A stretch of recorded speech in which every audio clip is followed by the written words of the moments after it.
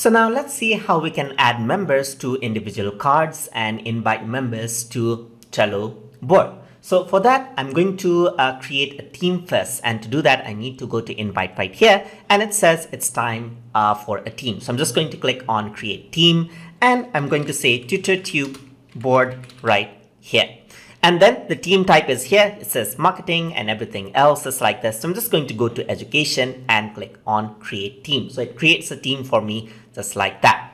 So once I do that, I'll be able to uh, invite others. So the team has been created and it says invite to board. So I can uh, invite with a link right here by creating uh, a link or type in an email address. So I'm just going to type in an email address just like that and invite the other people. So over here uh, in my contact, there's this TutorTube. So I'm just going to type in TutorTube2 uh, at outlook.com just like this so that I can send an invitation. And uh, it uh, says that the user has not signed up for uh, uh, signed up for a Trello board yet. But anyways, if I were to send this invitation, the email will be sent and they will be added onto the board as soon as they sign up. So I'm just going to skip the sign up process so that we can follow, follow up along now.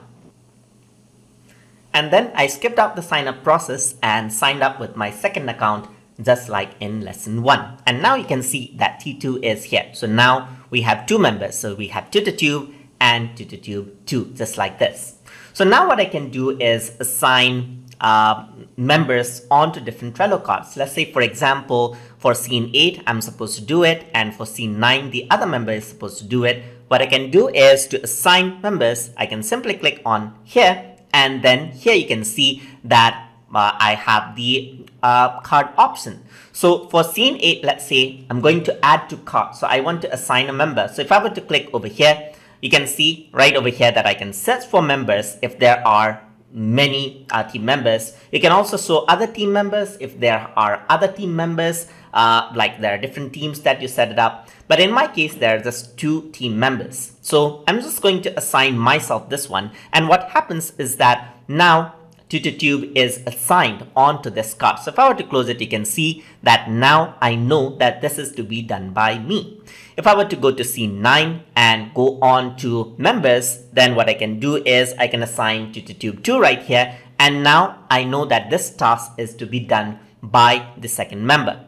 I can go on to scene 7. Maybe this is to be done by both of us. So I can go over to member and assign both of us right here. So if you have a lot of people, then what you can do is you can assign individual members and then what happens is that uh, you know who uh, has to do the work.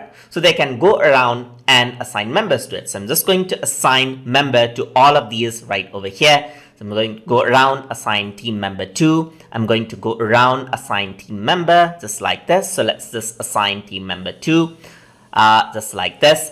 And one thing that you might notice is that whichever uh, is the one that I'm assigned in, you can see the eye icon because I'm on Watts for that particular assignment. So I'm just going to go around to member and assign the, the member just like this. And this is how you can assign members or member inside of uh, Trello cards so that uh, you, you exactly know who has to do what. So that is how you can create teams, um, add members on boards and cards using Trello. So hope you guys learned something as always. And as always, please like, comment, share, and subscribe.